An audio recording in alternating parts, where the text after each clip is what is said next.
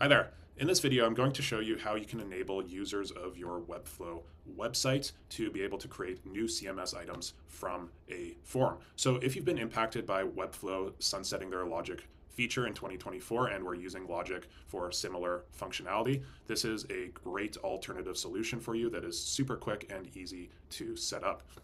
So in this example, I am creating an events platform where users are able to post new events. And as you can see here, I have this form that is fully customizable in the Webflow Designer, even the rich text editor. So now if I just jump over to the live version of this page, I've already filled all of the different form data for the event that I would like to create. Uh, and then I've also added in a description for the event. And can also add a bit of formatting here inside of the rich text editor. Also added an inline image. So now if I just click post discussion, what's going to happen here is that a new CMS item is going to be created with all of the data provided in the forms. So if I just jump over to the CMS item, you'll see it here. And as you might have also noticed, I also got redirected to the published version of the CMS items page. So this solution doesn't just have to be used for events. You can also use it for something like a forum, like in this example here, or you could use it for a job board uh, like in this example, or you could also even use it for creating something like a product hunt or medium clone. Um, so yeah, whatever you were using Webflow logic for, there's lots of flexibility here. So yeah, I'm just going to briefly show you how to implement this. And this solution should only take a couple minutes and it doesn't require you to piece together a bunch of different no-code tools and create a bunch of complex automations using a tool like Make or Zapier. Okay, so first off, we're just going to use a tool called SuperSparks. And the first step is to select the CMS collection that you would like to create new CMS items from. And then afterwards, you're just going to select a field for the rich text. Um, this would also work for uh, basic text inputs, um, but most of our components come pre-installed with a rich text editor. Um, and then afterwards, we're just going to select a text field, which will be the title or name of the CMS item. Okay, then afterwards, we're just going to click Save and Proceed. Then afterwards, we can select from four different variations of a rich text form. So the one I'm just going to select is the unstyled one. Then after selecting it, just going to paste it to a static page. So this is a page dedicated for creating new posts. So actually, I'm just going to create it. And then after pasting it in, I can get started styling everything. So let's just select the parent class. And then, yeah, as you can see, we can adapt the styling of all of the different inputs and even the layout and also the interactions. And then if we just proceed with the installation, we're just going to copy this code snippet, then we're just going to add it into the head tag for the page settings of this static page, and then click Save. And then afterwards, we can also add in some optional CSS overrides that just ensure there's spacing between lines in the rich text editor. And then the next step is to select a component, and this is just for displaying the content that users provide uh, inside of the form that we previously pasted to the static page. And then we're just going to add this to the collection template page for the collection where new CMS items are being created. And then we're just going to connect the elements to their relevant CMS field. So in this element, we're just going to connect it to the rich text field inside of the CMS collection. Then we're just going to connect this one to the name. And then our tool just dynamically displays the author details of the post uh, based on the data they provide inside of the form. Or if the user is logged in through a tool like MemberStack or Outseta, Data from their profile, such as name or profile image, will get displayed with their content, like in this example here. Okay, so now that we've done this, there's one last step. So we're just going to copy this code snippet and then paste it into the collection template pages head tag. And then if we click save, we can now get started testing. So first off, I'm just going to add the name of my CMS item. And then I'm just going to provide my name and then the email address will not be publicly visible. It will only be visible inside of the SuperSparks content dashboard. And now I can get started adding some rich text. So I can just bold this and then I can also add in an inline image here. Okay, so now if I press submit, the CMS item will get created and then I will be redirected to the published version of my CMS item page.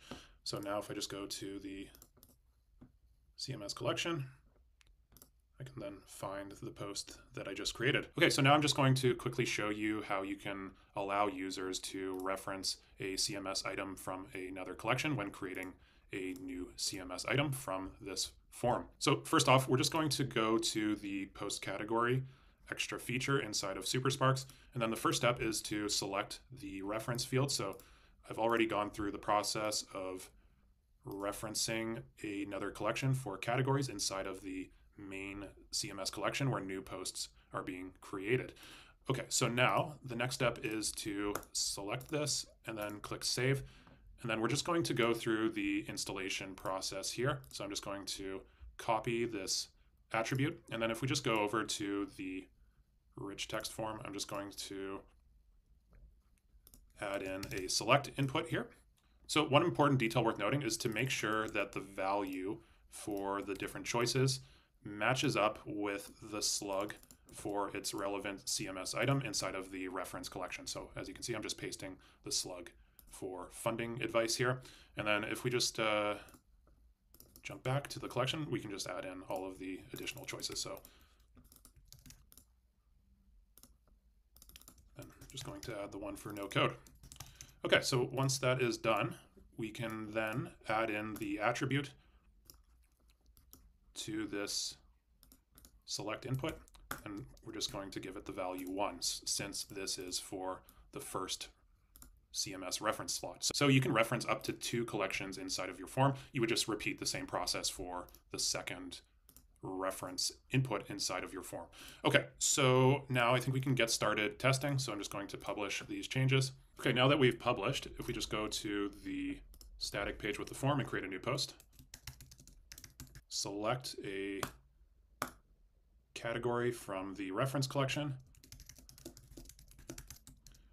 and then press submit, we will be redirected again to the published version of the CMS item page. And then if we just jump back to the CMS collection, you'll see that a post was created and the category that I selected in the dropdown is being referenced. And then if we just go to the CMS template page, you'll see that I've already connected the reference field to a element on the page. So, so yeah, this is really just scratching the surface of what's possible with Webflow's reference field functionality. Uh, so if we just jump back to the forum example, you'll see that individual pages are created from the collection template page for each topic slash category. And then posts for those different topics slash categories are being filtered on this page. So this is great for SEO. And then if we just take a look at the job board example, you'll see that we're doing something similar. So individual pages where all of the jobs for a certain type of role are being listed on that page. So in this case, it's all of the sales roles that are being listed here. Um, so lots of flexibility here. Um, and then, yeah, I think we can jump now to the functionality for adding in different custom fields to the form. Um, so if we just jump back to the form, and yeah, this will allow you similar functionality to what was on display earlier in the video for the date and then location input. So you can add up to seven custom inputs of your choosing uh, that are text-based into the form. Okay, so I'm just going to show you how to add in a text input. Uh, so if we just move this up here. Okay, so I'm just going to call this location. And then if we just jump over to the CMS collection, I'm also just going to add in a custom field dedicated to location inputs. And then if we just jump back to SuperSparks, we can just go to the installation steps for custom fields in the extra features library. And then we're just going to select the location text field, then click save. And then the process is quite similar to the setup for categories. So we're just going to, again, add in a custom attribute here doesn't have to be required. Um, and then we're just going to set the value to one. You can also use the first custom field slot as a date field. Um, so in order to set this up, you would just add in a custom field instead of a basic text field. And then you would add in the following attributes, so type date, and then of course our attribute for custom field one. And then you could also add in an additional selection for the time. Um, and then of course, if you were planning on using a date input, you would want to link this to a date field inside of the CMS collection. Um, so yeah, I'm going to provide a link in the description for a more detailed tutorial for setting up dates. But for the purpose of this demo, I'm just going to show you how to add one basic text input. Okay, so now that we've done that, um, you would also follow the same steps for configuring all of the additional custom text fields that you would like to add into your form. Um, but yeah, after publishing, we can then see this in action. Okay, so let's go back to the form. Okay, now if I submit, I am once again redirected to the published version of the page. And then if we just again jump back to the newly created CMS item, you'll see that the text input that I provided for the custom field is getting synced into the CMS field for location for the newly created CMS item. Okay, so yeah, you can repeat that process for up to seven text fields of your choosing. Okay, so now if we just jump back to the collection template page, we can also add in the location data here. So I'm just going to add in a text element, and then I'm just going to connect it to the text field for location.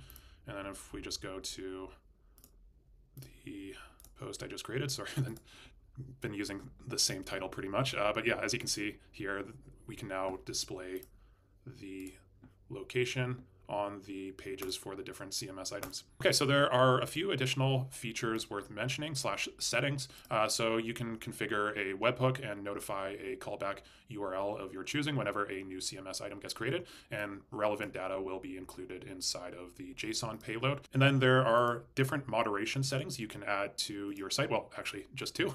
Um, but uh, for example, as you might have noticed, uh, new CMS items are automatically getting published and the user is getting re- redirected to the published page for the CMS item. But if you were interested in adding a layer of triage before new CMS items get published to your website, you can definitely do that by selecting manually approved. And then if you just jump over to the content dashboard inside of SuperSparks, um, well, first off, you will be notified, um, or you can make it so you are notified whenever a new CMS item gets created on your website, and then you can jump over to the content dashboard where you can review the newly created posts and then publish them to your site and then you also have the option to unpublish them.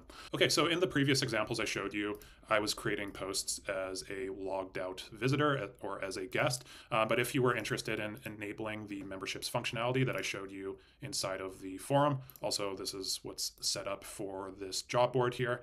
Um, so this is cr- being created by logged in members where the company's profile image and name is being displayed with their content. Um, and then I was also kind of messing around with this on the events platform. So, yeah, this was actually created by a member. Uh, so yeah, in order to set this functionality up, uh, you can just follow the instructions provided inside of the memberships section of the SuperSparks editor. So I'm not going to show you how to implement this in this video, um, but I will provide links in the description with more detailed tutorials for how to set this up for each individual tool. Um, so Webflow memberships is also being sunset, so just be aware of that. Uh, so Webflow memberships will stop working in January of 2026. So, so we highly recommend using MemberStack or Outseta for this functionality for creating new CMS items or user-generated content. Then the last thing I wanted to mention, if you were interested in setting up similar functionality for another CMS collection, you can definitely do this. So you can just go through this process again and all you have to do is go to the home page and then click add sparks and then you're just going to select community posting. And then you're just going to select the from scratch method.